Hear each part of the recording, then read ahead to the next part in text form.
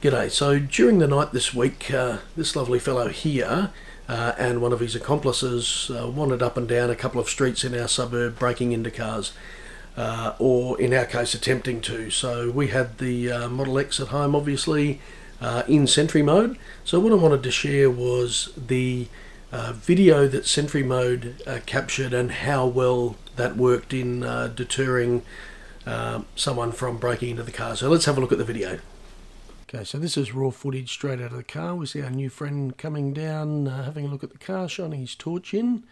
You can see the uh, camera adjust pretty quickly to that, and here he is trying to uh, open the car door, and he seems to leave uh, pretty quickly after that.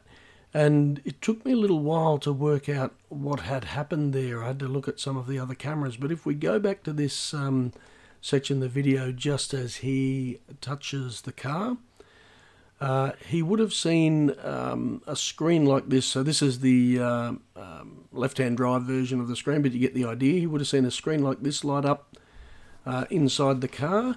And then if we have a look at this section in the um, video, you can see the lights of uh, the car activate.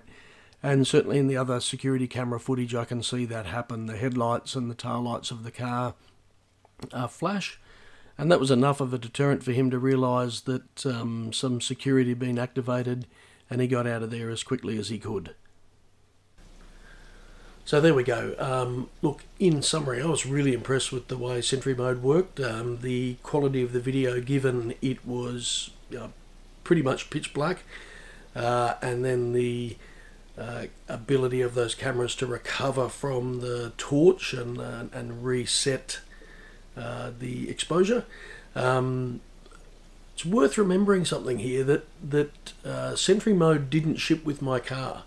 Uh, it's something that was added uh, maybe a year or so, maybe longer later via an over-the-air update. Um, so again, this is the amazing thing about these vehicles in that Tesla are always looking at ways to uh, leverage off the hardware they've got in the car and add new features. So dashcam mode and Sentry mode were a couple of examples of that, which um, you know we're really impressed with. Um, uh, I have some other cameras around the house as well, and was able to provide some of that video to the police. Um, from the uh, feedback from the police, they were really impressed with Sentry mode. Really impressed with the video. They were able to get a really good look at what the um, I suppose I have to say alleged offender uh, was wearing um, uh, but also just the technology in the car and the deterrent effect of uh, Sentry Mode. So um, yeah, really impressed with Sentry Mode. That was a good, very good real world test of it. Uh, hope we don't have any more, um, uh, but it was good to see it in action.